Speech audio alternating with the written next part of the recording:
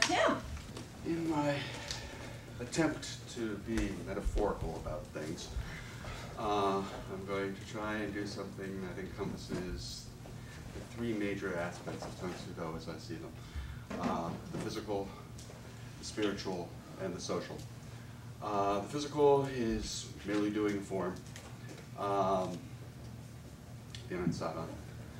The psychological is uh, doing it blindfolded.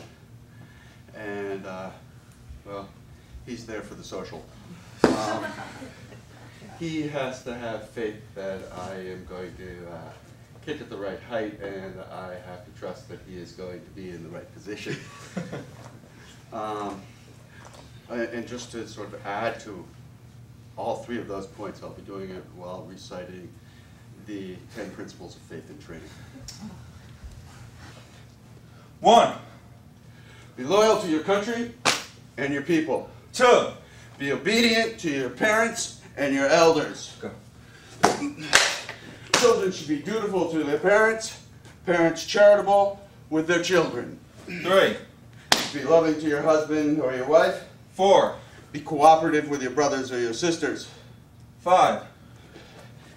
Be respectful of your elders. Protect the rights of the weak with courtesy and modesty. Six. Build trust between teacher and student. Seven. Be loyal to friends, honor friendship, and be peaceful and happy with harmony and faith towards all mankind. Eight. Always use self-control and good judgment. Nine. Never retreat in battle. Ten. Always finish what you've started.